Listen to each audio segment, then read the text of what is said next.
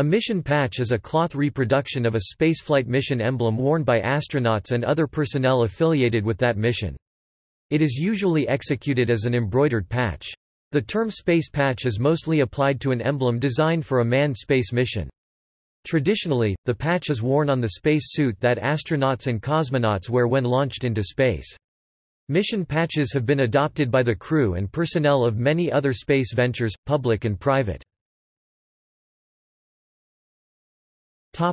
Origins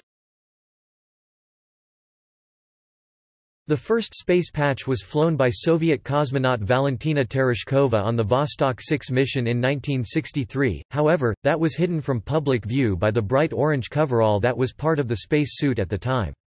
At the start of the manned space age, as a rule, astronauts were pilots from a military background. These pilots took the tradition of military shoulder patches with them. Most U.S. space missions have had dedicated designs, and since the mid 1980s, most Soviet, Russian flights also featured space patches. Mission patches were first sported by NASA astronauts in 1965. The idea was first introduced to NASA by Air Force pilot and astronaut Gordon Cooper. Topic: Evolution. Following the loss of the Apollo 1 crew in a devastating fire, embroidered patches were restricted from crew clothing. Instead, astronauts in flight wore mission patches of fire-resistant beta cloth onto which designs were silkscreened. Embroidered patches were still produced for ground-side wear, non-flight personnel, sale to collectors and to be flown in space as souvenirs. Topic: in the Soviet Union, Russia The Vostok 6 patch was the only one of that program. The first spacewalker, Alexei Leonov wore a general patch that he designed himself on his EVA, which was also used on subsequent flights. As part of the Interkosmos program, the manned flights to the Salyut and Mir space stations between 1978 and 1988 featured mission logos. After that, some international flights had a patch, but only from 1994 onward did every Russian manned launch feature a space patch. At that time, the design and production of the patches was done on the initiative of the crew. The designs were not sanctioned by the Russian Space Agency, Glavkosmos, RKA, Roscosmos. On a few confusing occasions, that lead to two crew-approved patches existing for a single mission.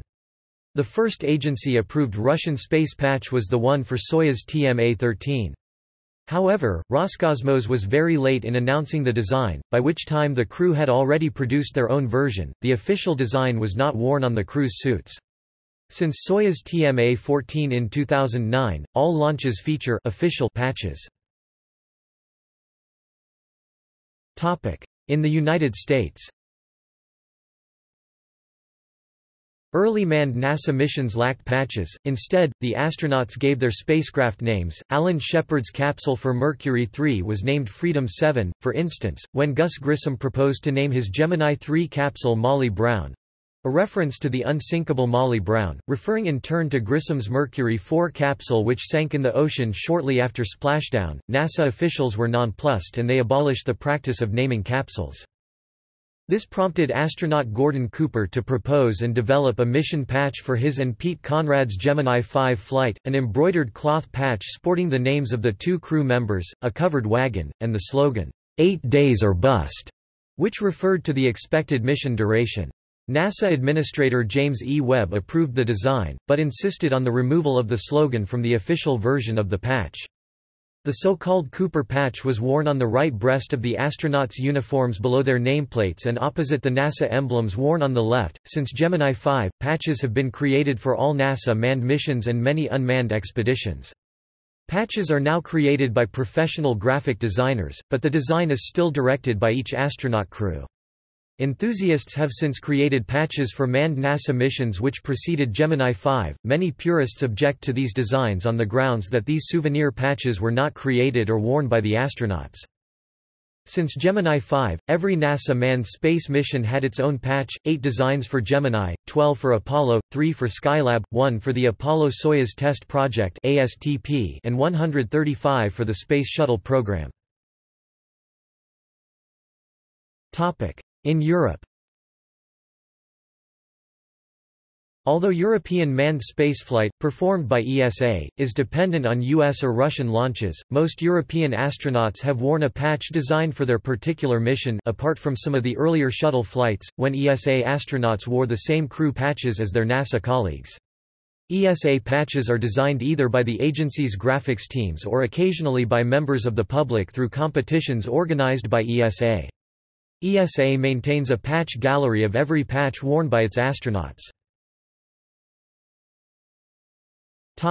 China In 2003, China launched its first astronaut, Yang Liwei aboard Shenzhou 5. Following the US and Soviet, Russian tradition, he had a mission patch on his pressure suit. The manned Shenzhou 6, 7 and 9 missions continued the tradition. In a departure from US and Russian designs, the Chinese mission patches do not feature crew names. Topic: Categories. Mission patch or crew patch, designed for a single manned space mission. Payload patch, designed for a particular payload carried on board a space shuttle mission. ISS Expedition Patch, designed for the expedition of a crew on board the International Space Station. These crews wear a separate patch for the shuttle or Soyuz mission that takes them to the station. Project Patch, designed for a program of experiments on board a space station, like ESA designs for missions on Mir and ISS, also for a program of spaceflights, like the Space Shuttle program logo. Agency Patch, depicting the logo of a space agency, like the NASA meatball and the ESA thumbprint or the ESA flags patch. Personal Patch, designed for an individual astronaut or cosmonaut, for use on one or more space missions. Usually, the patch is not publicized. Astronaut – Cosmonaut Group Patch, features the logo of a selection of one particular class of astronauts, cosmonauts, usually including the year of selection. Unmanned and commemorative patches – Lots of patches feature rockets, satellites, spaceships, the Moon, planets or stars, but some collectors do not consider these true space patches. Artists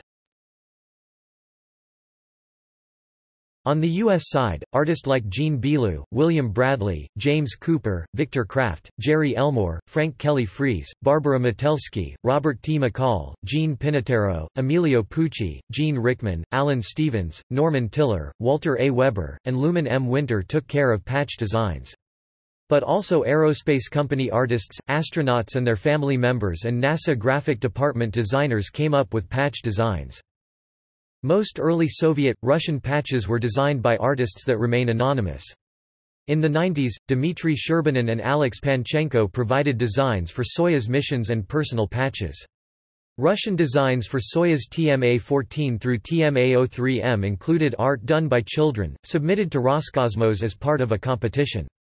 More recently Tim Gagnon of the US and Jorge Cart of Spain designed shuttle and ISS expedition patches, while Luc van den Abeelen and Eric van der Hoorn, both of the Netherlands, provided art for Russian Soyuz missions to ISS. Additionally, Johnson Space Center graphic designer Blake Dumesnil has also worked closely with ISS crews on expedition mission patches, Soyuz patches, and personal crew patches, in addition to official NASA commemorative designs for the end of the Space Shuttle program and the 50th anniversary of extravehicular activities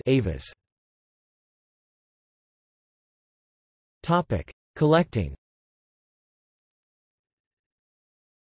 Space patch collecting is done by a modest group of people worldwide, trying to keep up with new releases while searching for vintage examples of early mission patches, some now nearly 50 years old. Since 1971, all official NASA mission patches have been produced by a single supplier, AB Emblem of Weaverville, North Carolina. As a result, most mission patches since Apollo have been widely available to the public. But a number of years ago, the company switched embroidery machines, and recent versions of older shuttle patches differ from the originals, making the latter more interesting to serious collectors. Original Soviet-era patches and early Russian ones were either never available to the public or in very limited numbers. Since 2009, the supplier of Soyuz patches has modest numbers of patches available for collectors. The Chinese crew patches are very scarce and mostly only obtained through contacts within the Chinese aerospace industry. ESA patches were only made in limited numbers for PR events, but since 2012 the agency has moved to make its mission patches more widely available to the public from their original providers Quadrotum in Germany, Emblemen in the Netherlands and Stuart Aviation in UK. See also Astronaut badge References Further reading Kaplan, Judith and Muniz, Robert. Space Patches, From Mercury to the Space Shuttle. Sterling Publishing Co., Inc., New York, 1986, ISBN 0-8069-6294-1 Hengeveld, ed. The Apollo Emblems of artist Al Stevens. Spaceflight Magazine, June 2008, pp. 220–225. Available online at CollectSpace Kirker, Travis. More Than Just a Merit Badge. Ad Astra Magazine, November, December 2000, pp. 23–25. Also available online at CollectSpace Lattimer, Dick. All We Did Was Fly to the Moon. The Whispering Eagle Press, Gainesville, FL, 1985, ISBN 0-9611228-0-3 Patterson, Anne. Space Shuttle Patch History. NASA Shuttle Patch Descriptions.pdf Glushko, Alexander. Design for Space, Soviet and Russian Mission Patches. DOM Publishing, 2016, ISBN 9783869223285 External links History of patches. More than just a merit badge. www.spacepatches.nl www.abemblem.com www.roscosmos.ru www.esa. French website, Les Badges du Cosmos